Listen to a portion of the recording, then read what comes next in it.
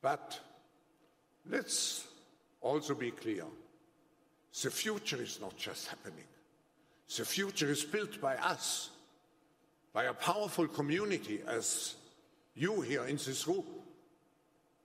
We have the means to improve the states of the world. But two conditions are necessary. The first one is that we act all as stakeholders of larger communities, that we serve not our only self interests, but we serve the community. That's what we call stakeholder responsibility. And second, that we collaborate.